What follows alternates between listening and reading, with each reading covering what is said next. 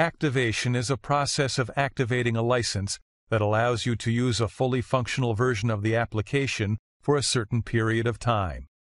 If you have any Kaspersky Lab product installed on your computer, review the Kaspersky Internet Security 2014 Migration Policy. Before you activate the application, make sure that your computer is connected to the Internet and its system date is set correctly. After restarting the computer during installation of Kaspersky Internet Security 2014, the Setup Wizard prompts you to activate the application. To activate a commercial license, enter the 20-digit activation code and click the Activate button.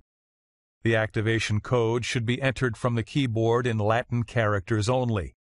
If the activation code has been entered incorrectly, the Activate button will remain unavailable and the incorrect activation code message will appear.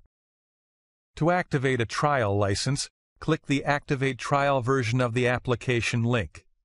Activating a trial license allows you to use a fully featured version of the application for 30 days. Please note that at this step you can purchase a commercial license by clicking the Purchase Activation Code link. This will open the Kaspersky Lab website where you can buy a license and get the activation code.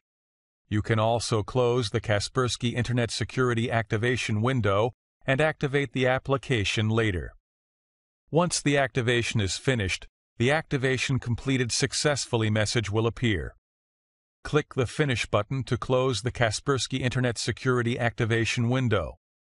The licensing window will display the information about your license, term of validity, activation date, and the license type.